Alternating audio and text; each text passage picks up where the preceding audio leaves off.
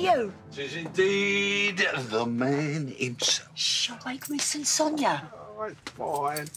Who is she then? What? The reason for that big cheesy grin of yours. No, no, no. The lady in question is bright, blonde, and beautiful, and I'm looking at her. So where have you been, anyway? I went to the Vic, yeah, with the lads, couple of points, game of darts. I tell you that Howie, he is unbelievable. He could give Eric Bristow a run for his money. He could probably, he could nail a raisin to a wall, blindfolded, 200 yards away. He was brilliant, unbelievable. And you really expect me to believe you're this excited over a game of darts? Oh, oh I will come clean. You are looking at a man who has had a very nice commission on a motor. Oh, Come here. careful, you left have me over. Oh, don't put ideas into my head.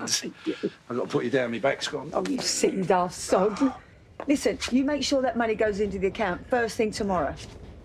I love you, Mrs. Cotton. Mm. Yes, and I love you too. How's your back? I need a massage. Oh, shut up.